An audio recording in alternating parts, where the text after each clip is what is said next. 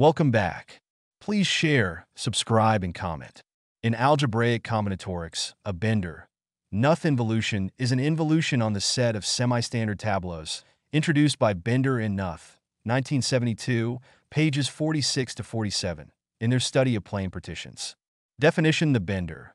Knuth involution sigma k are defined for integers k, and act on the set of semi-standard skew-Young tableaus of some fixed shape mu slash nu, where mu and nu are partitions.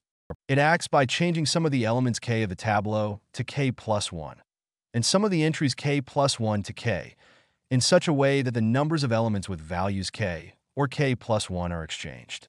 Call an entry of the tableau free if it is k or k plus 1, and there is no other element with value k or k plus 1 in the same column.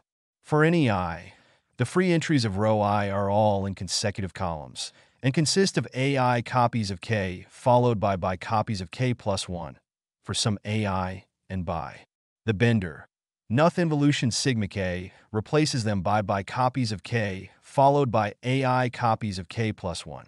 Applications bender. Knuth involutions can be used to show that the number of semi-standard skew tableaus of given shape and weight is unchanged under permutations of the weight. In turn, this implies that the Schur function of a partition is a symmetric function. Bender, Knuth involutions were used by Stembridge, 2002, to give a short proof of the Littlewood-Richardson rule.